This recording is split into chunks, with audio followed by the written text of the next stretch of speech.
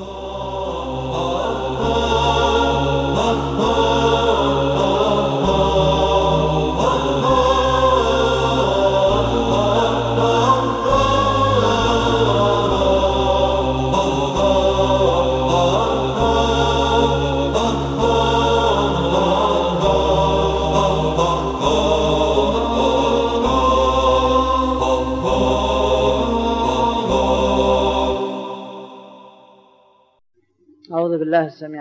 الشيطان الرجيم. بسم الله الرحمن الرحيم. نسأل الله أن يحشرنا وإياكم جميعا مع القرآن وأن يوفقنا جميعا لتطبيقه والعمل به ونشره في العالم. نتكلم هذه الليلة حول موضوع وهو موضوع مستقبل العراق. ثم أخيرا أيضا نرجع إلى القرآن بإذن الله سبحانه. أحد علماء لبنان ويسمى بالسيد عبد الحسين شرف الدين.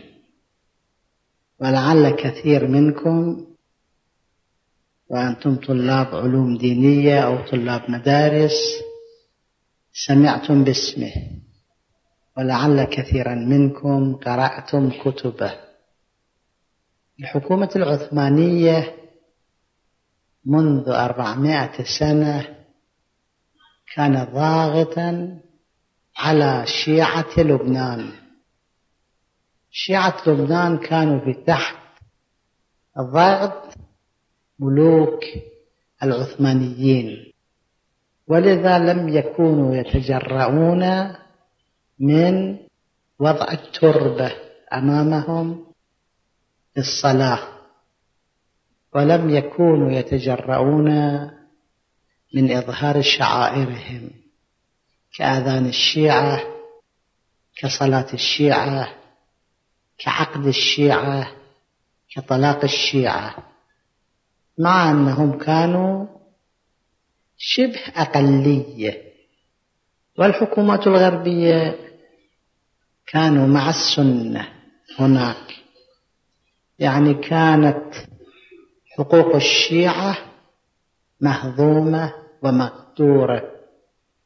السيد عبد الحسين شرف الدين الله يرحمه على علمه الواسع وشجاعته الفائقة قام مع جماعة من صحبه بالتأكيد على ضرورة إرجاع حقوق الشيعة حتى أن علماء لبنان بأنفسهم نقلوا لي ونحن في العراق.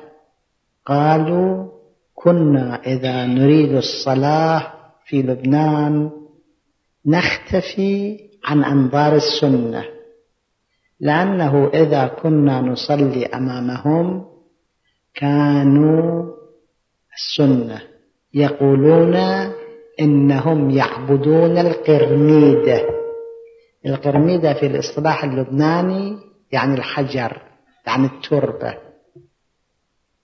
السيد عبد الحسين شرف الدين أصر على إرجاع حقوق الشيعة وأن يكون للشيعة نسبة في الحكم وفي سائر شؤون الدولة.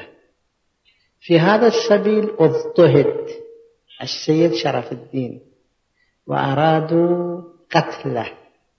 وهرب إلى مصر وأحرقوا بيته وأحرقوا مكتبته وأحرقت فيها كتب نفيسة له لكنه أصر وأصر حتى تمكن من أن ينتزع حقوق الشيعة كما هم وبالنسبة التي هم بتلك النسبة.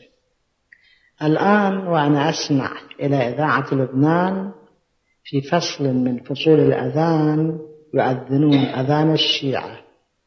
وهناك أحزاب شيعية وهناك مجلس أعلى للشيعة وهناك في الدولة بنسبة الشيعة وزراء قضاة أوقاف موظفين محافظين وما إلى ذلك. ببركة تلك الشجاعة الفائقة. هذه قصة مال قبل ستين سنة تقريبا. قصة ثانية مال هذه السنوات. الأفغانيين هم أكثرية سنة وأقلية شيعة. أفغان فيها واحد وعشرون مليون إنسان. ثلثهم شيعة يعني سبعة ملايين. وسبعان سنة. ويحكم أفغان منذ أربعمائة سنة حكام سنة.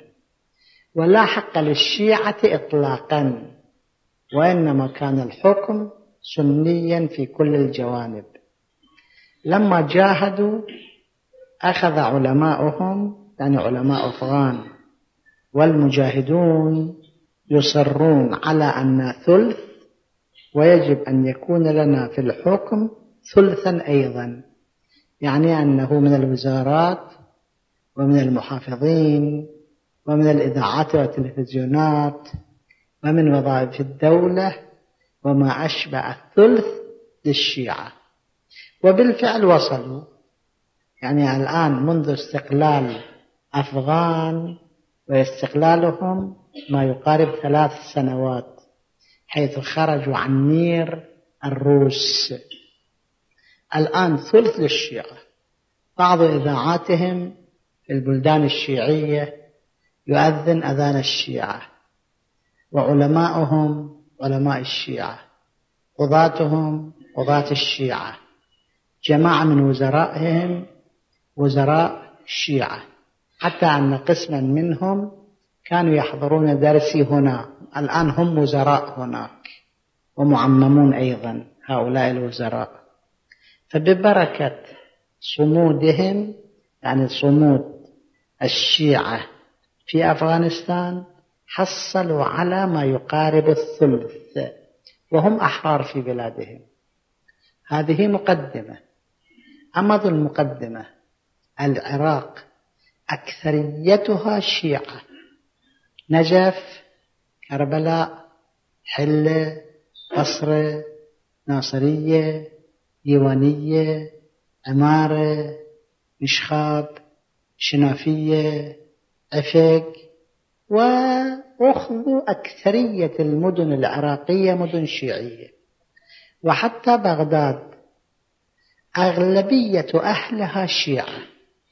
الثورة الشعلة الهادي البياع بغداد الجديدة قناة الجيش ولعل بالمئة من بغداد تسعون شيعة وإنما ممكن عشرة سنة. وكذلك أكثرية الجيش شيعة في العراق أكثرية المثقفين شيعة أكثرية التجار شيعة. مراجع التقليد في النجف وفي كربلاء شيعة مقابر الأئمة الطاهرين وهي مزارات لملايين من الشيعة في العالم. وقسم منكم رأيتم النجف وكربلاء وكاظمية وسامراء. والسيل من الزوار يتوجهون إلى العراق شيعة. من أفغان من هند من باكستان من الخليج من سوريا ولبنان. من إفريقيا وغيرها. وكثير منكم رأيتم هذا الشيء رؤية العين. بالمية أحد رجال الحكم في عهد عبد السلام عارف وهو مدير النفوس العام. قال لنا أنا المتكلم وبعض أصدقائنا معنا قال أن في العراق ثمانون بالمئة شيعة. خمسة عشر سنة. خمسة سائر الطوائف. يعني اليهود يعني المسيحيين يعني عباد الشيطان وما أشبه ذلك. ثمانون في المئة يحكمها خمسة عشر في المئة. هل هذا صحيح؟ هذا ليس بصحيح. لا شرعا وفقها ولا دنيا وديمقراطية. الشريعة الإسلامية يقول كما في القرآن الحكيم أمرهم شورى بينهم. شورى يعني شنو؟ يعني أكثرية. وبالنسبة إلى الديمقراطية الديمقراطيون يقولون حكم الأكثرية. يجب أن يكون الحكم في العراق شيعيا. ويعطى حقوق السنة كاملة. يعني هيت يعني تكريت يعني عانة يعني جبة يعني كبيس. هذه المدن السنية لهم سنتهم. أما الشيعة فالإذاعة لازم شيعية. يعني في الأذان بعد محمد رسول الله.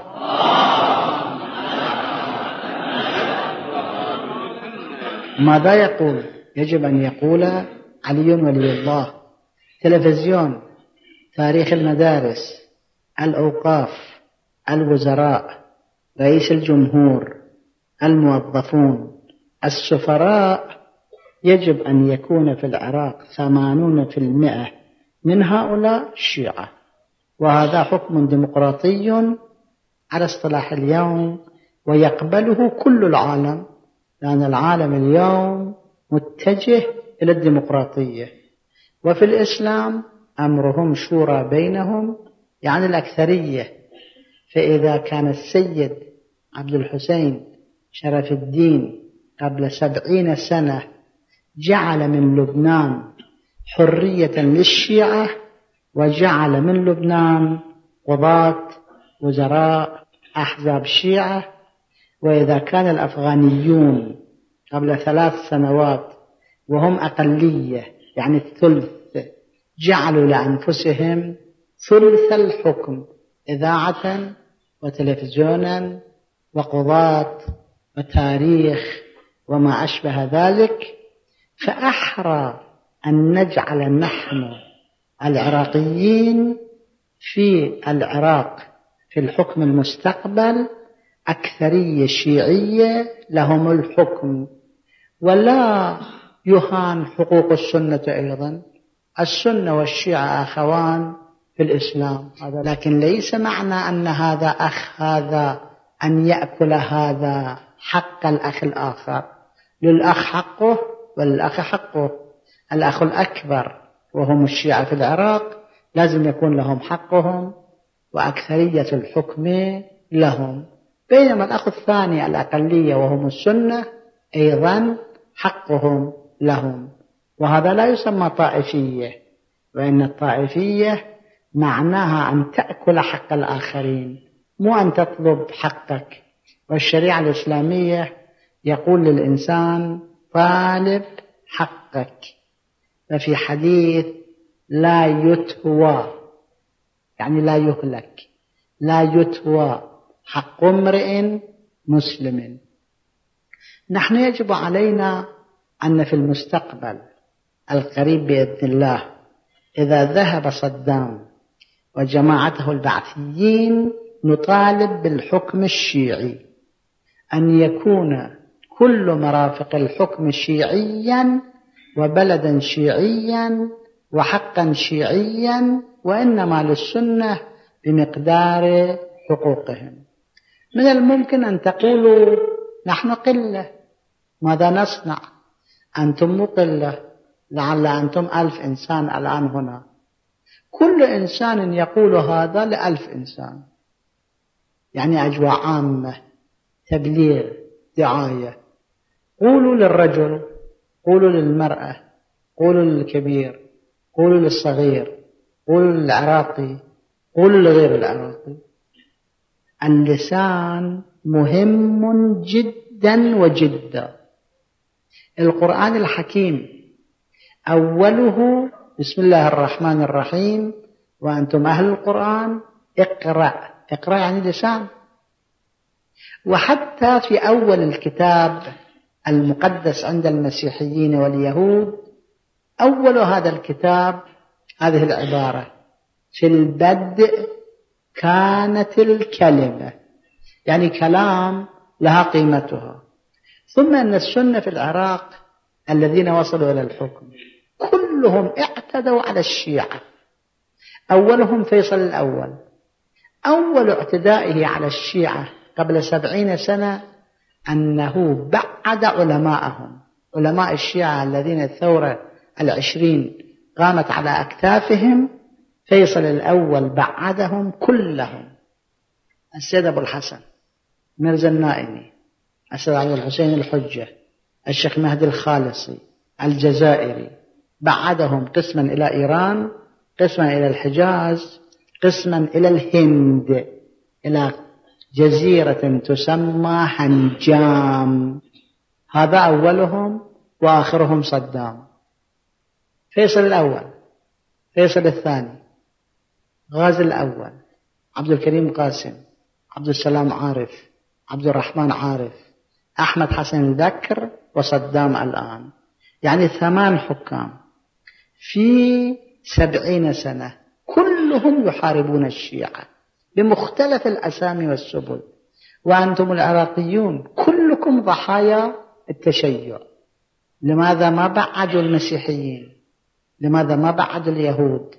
لماذا ما بعدوا عباد الشيطان؟ بعدوا الشيعة. هدموا بلادهم هدموا دورهم غصبوا أموالهم اعتدوا على نسائهم في السجون عذبوا شبابهم وسجنوهم. وأغلبكم وأنتم عراقيون عندكم أقرباء إلى الآن في السجون. لأن سجون صدام الآن تحتوي على نصف مليون شاب وشابة رجال ونساء كبار وصغار. هذا كله اعتداء على الشيعة. يجب علينا أن لا نكرر المأساة بقبول حاكم سني في العراق. إذا قالوا هذا السني إنسان طيب جزاه الله خيرا وهو إنسان طيب. لكن هل هذا معنى على أنه السني يأكل حق الشيعة؟ مو صحيح. أنا أخوي إنسان طيب متدين لكن هل معنى ذلك أن يأكل حقي؟ أبدا. لكل إنسان حقه. يجب علينا أن لا نخدع. الحديث الشريف يقول لا يلدغ المؤمن من جحر مرتين. فإذا لدغنا نحن من هذا الجحر أيضا المرة معناه لدغنا من جحر تسع مرات. هل هذا صحيح؟ ألسنتكم وأنتم كثير منكم كتاب أقلامكم ولكم أقلام أنتم. القلم مهم جدا وجدا. جاء أحد رؤساء العشائر إلى معاوية. من الشيعة كان. معاوية أهانه وسبه. فأخذ يخرج الرجل وينشئ هذين البيتين. أيشتمني معاوية بن حرب؟ وسيفي في يدي ومعي لساني.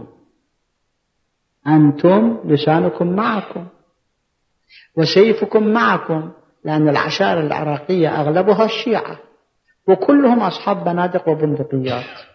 يعني أنه لهم ألسنة لكم ألسنة لكم أقلام لكم سيوف وإنما يجب أن تطالبوا بحقكم. وإذا طالبتم بحقكم لا يطاردوكم أيضا مرة ثانية ومرة ثالثة. ومرة عاشرة وإنما تكونوا أعز في بلادكم. صدام طاردكم لماذا طاردكم لأنتم خونة لأنكم حرامية لأنكم سراق لأنكم مغتصبون لأنكم زناة لأنكم قتلة. أبدا أبدا. طاردكم لأنكم الشيعة لا أكثر ولا أقل. صدام يروح إن شاء الله تعالى. ويأتي من بعده حكم. ويسألونكم. لازم تقولون حاكم شيعي. وهذا ليس اعتداء على السنة. قلت وإنما مطالبة حق. في مستقبل الحكم في العراق يجب أن يكون هناك تعددية يعني أنه أحزاب حرة متعددة حتى أن الحاكم لا يتمكن من أن يطغى وإنما أمامه حزب آخر. إني شخصيا قبل أربعين سنة ذهبت إلى دار رئيس الوزراء في بغداد أطالبه ببعض الإصلاحات الحكومية.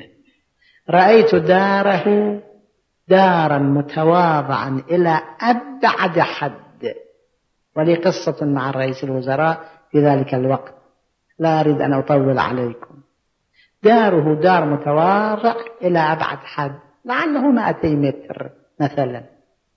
الآن صدام باني من قبيل ذلك الدار كم دار؟ مليار دولار داره الشخصي. يعني مئة وأربعين ألف مرة مثل ذلك الدار. هذا معنى الحزب الواحد. الحزب الواحد يفعل ما يشاء يقتل من يشاء يعمل ما يشاء ولا محاسبة له. فلازم أن يكون الحكم في العراق المستقبل شيعيا يجب أن يكون متعددا تعدديا حزبيا يجب أن يكون عشائريا لأن العشائر لهم القدح المعلى في حكم العراق وفي استقلال العراق وفي عمران العراق.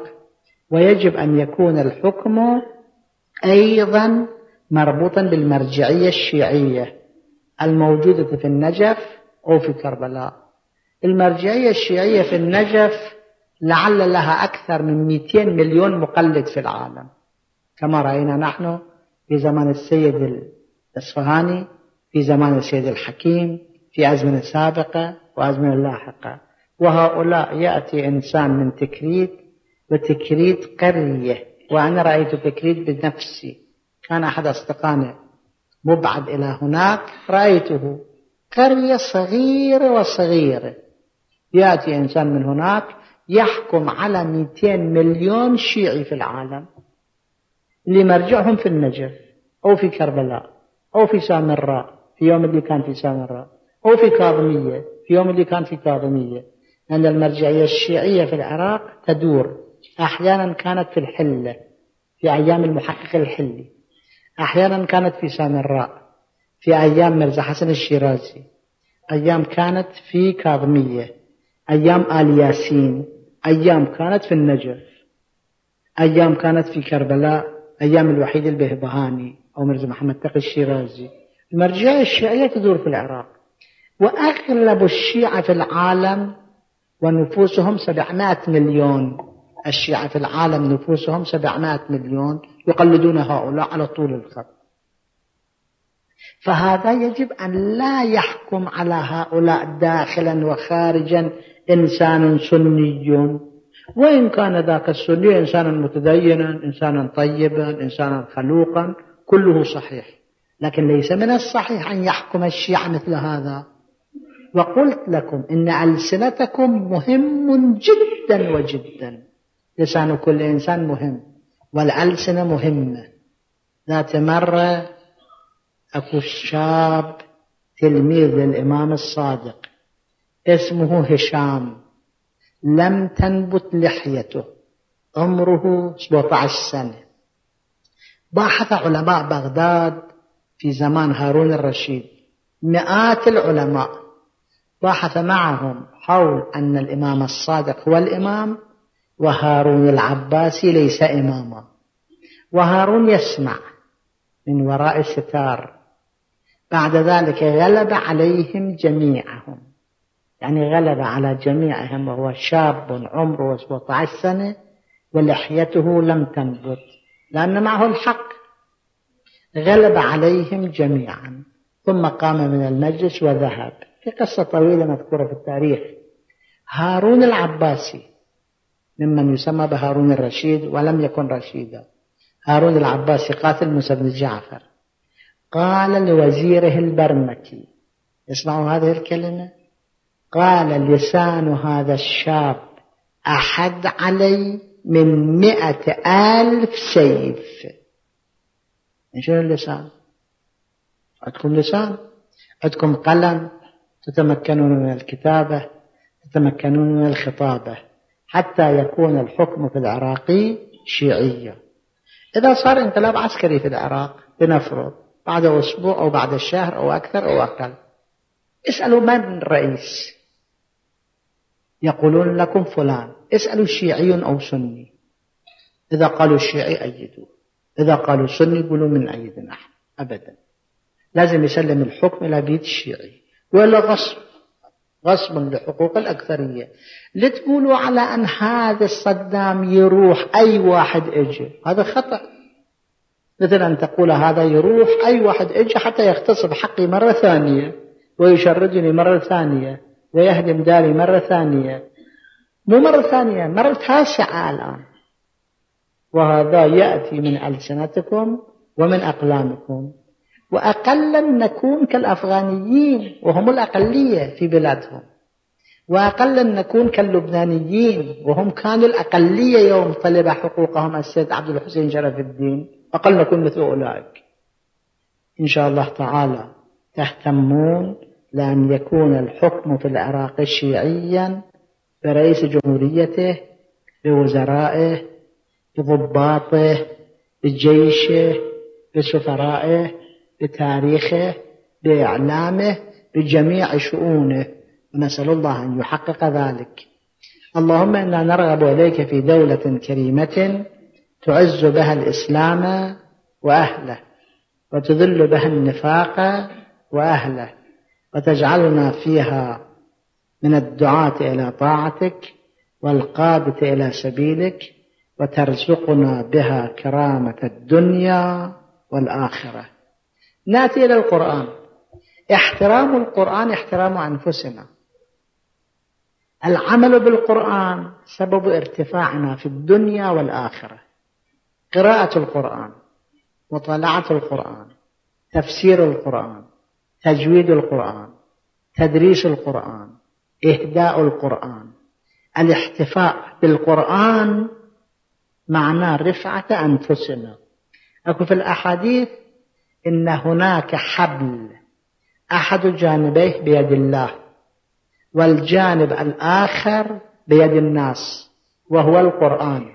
فمن تمسك به رفعه الله ومن لم يتمسك به لم يرفعه الله.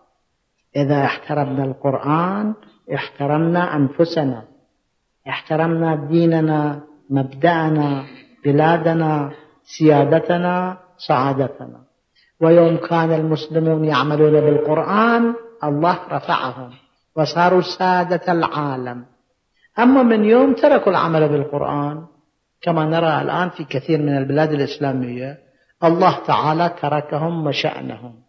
علي عليه الصلاة والسلام في نهج البلاغة يقول إن المسلمين يعرضون عن القرآن فيعرض الله عنهم ثم يرجعون إلى القرآن فيرجع الله إليهم.